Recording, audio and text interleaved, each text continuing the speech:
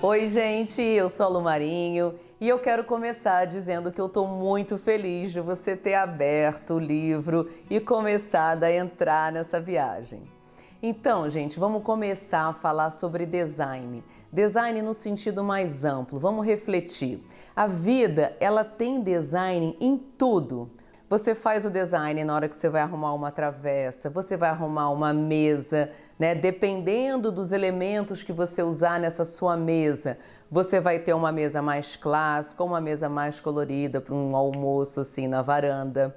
Você tem o design no seu look, né? Então, se você é uma pessoa mais despojada, você tem aquelas roupas descoladas, colares e tudo mais. Se você é uma pessoa mais clássica e de repente trabalha num ambiente assim mais formal, você vai colocar aqueles taillers ou vai colocar um salto, enfim. Tudo tem um motivo, porque a gente cria a nossa persona, quem a gente representa. E no design de casa, gente, no design de interiores não é diferente.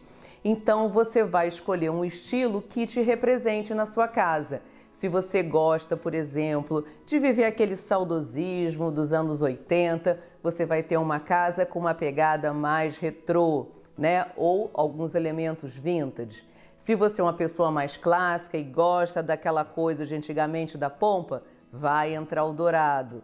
E se você é aquela pessoa minimalista que tipo tem que ter o essencial, vai usar esse estilo. E por aí vai, gente. Mas fundamentalmente o que você precisa entender é que o design tem que funcionar na sua vida e te representar. Esse é o segredo.